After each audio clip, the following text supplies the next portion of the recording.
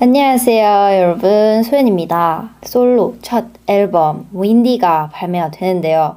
그래서 제가 앨범을 살짝 들려드리려고 이렇게 왔습니다.